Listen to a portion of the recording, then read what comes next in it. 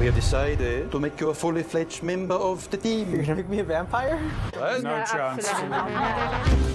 Today is our first day as leaders of the Vampiric Council. Is there not a throne for all of us? No! Do you have to step on it?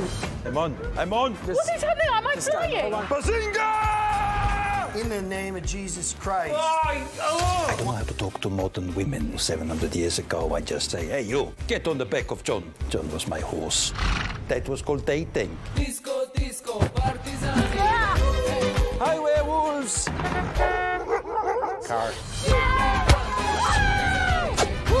We get it. You're a vampire killer with the stakes and the reflexes and all that. Great job. Yay.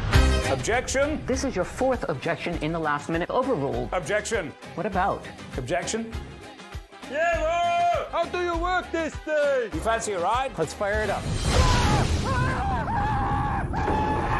Just kidding. I'm fine. Just a little fire.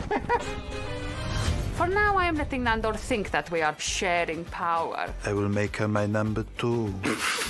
But there can only be one supreme leader. We haven't decided yet, oh, Colin oh, Robbins! What we do in the shadows. Do you ever wonder that there's more to this life than just mindless killing and bloodlust? Yeah. You do? Of course not! Good night.